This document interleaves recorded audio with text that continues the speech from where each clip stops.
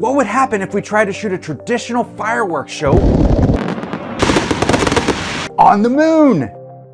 By the end of the video, you'll see that it's not just the low gravity and lack of oxygen that makes shooting fireworks on the moon dramatically different. To shoot fireworks on the moon, we first have to get there. On average, the moon is over 384,000 kilometers from Earth. During the Apollo missions, it took earthly astronauts just over three days to reach lunar orbit, burning fuel at a rate of almost 12,700 kilograms per second during launch. Which is a fireworks show in and of itself.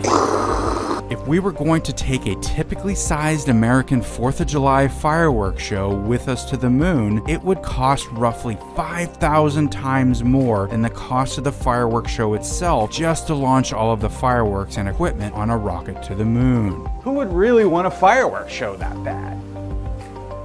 For starters, would a firework even work since the moon has no atmosphere and therefore no oxygen? Fireworks utilize pyrotechnic compositions, which by definition have fuel and oxidizer contained within the mixture, allowing them to burn independent of any atmospheric oxygen. Now assume we are hand lighting each firework mortar.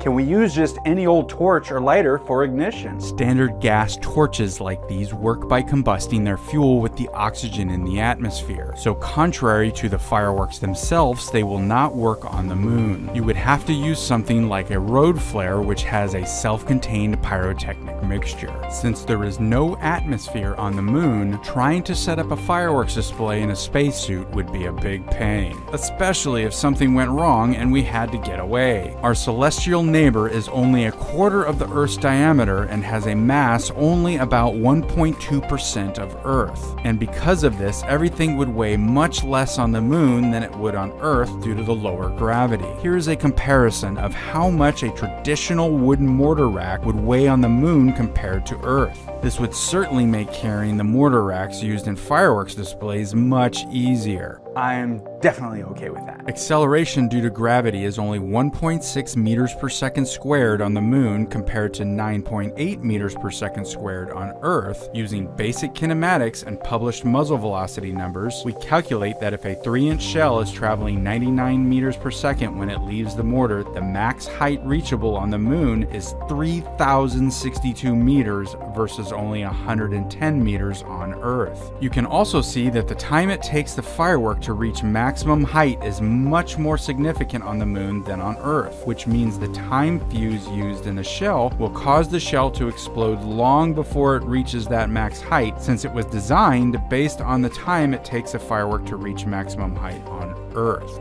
We wouldn't want the firework to reach max height on the moon anyway, because at over 3,000 meters or 10,000 feet, it would barely be visible. The moon has no atmosphere and even at the surface is about the same as being in the vacuum of space. This is a big contributing factor to a firework on the moon having a significantly higher max height since it would not take a hit from air resistance. If we rerun the calculations and assumed the moon had an atmosphere of the same air density as Earth, the numbers come down dramatically. Now, when the firework reaches apogee and explodes, the effect will be much larger due to the stars not being slowed down by air resistance when you have no atmosphere. This effect will be most dramatic with fireworks like the willow shell or waterfall shell, since they are designed to have longer burning stars to take advantage of Earth's gravity, causing the stars to appear to droop as they race out from the shell, giving a look similar to that of a willow tree or a waterfall. How loud would it be? What do you think you would hear when a firework explodes just above the moon? Absolutely nothing. Unlike light, which does not require a medium to propagate in, sound is a phenomenon that does. In our case with fireworks, that medium is air. Now you will likely feel the mortar fire since the mortar is directly impacting the moon's surface and those vibrations or sound will travel through the moon's surface to your feet.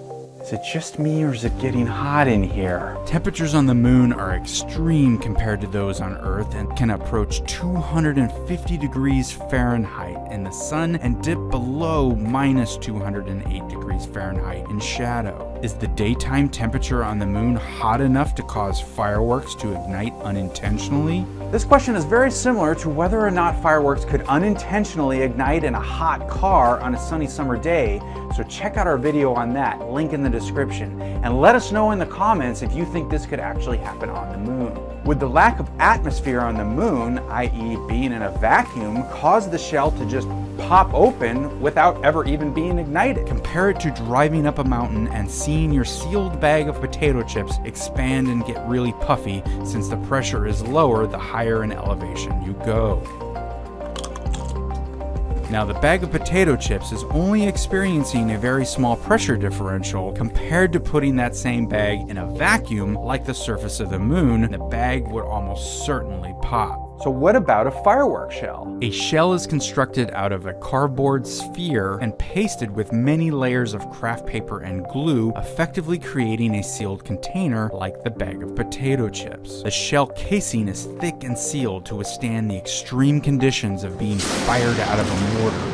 Consider the shell being manufactured on Earth. At the planet's surface, the weight of our atmosphere exerts a pressure of around 15 pounds per square inch absolute. So you build the shell on Earth at a pressure of 15 psi, the shell will be sealed and contain 15 psi of internal pressure. Now on Earth that isn't a problem because the pressure outside of the shell is also 15 psi, so the total pressure differential between the outside and the inside of the shell is zero. But now taking this fireworks shell to the moon, which has no atmosphere and can be considered very similar to the vacuum of space, doing the same math, we can see that there is a net pressure differential of 15 psi pushing from the inside of the shell casing. The question is, is this pressure enough to cause the shell to pop open without even being ignited? The burst charge of a typical fireworks shell causes the casing to fail at pressures over 284 psi and can even exceed 700 psi. So the fireworks shell casing shouldn't just pop open from the 15 psi trapped inside due to it being manufactured on Earth. If you want to learn how fireworks work, check out our fascinating video on the subject, link in the description. During a fireworks display, debris from the cardboard fireworks shell just falls back down to the ground. But if we were on the moon, would that debris fall back to the moon's surface or just continue to float off into space? Well, considering the moon's escape velocity is around 2.4 kilometers per second, and the velocity of the shell fragments upon explosion is likely between 0.1 and 0.2 kilometers per second, we are far under the velocity required to jet off into space.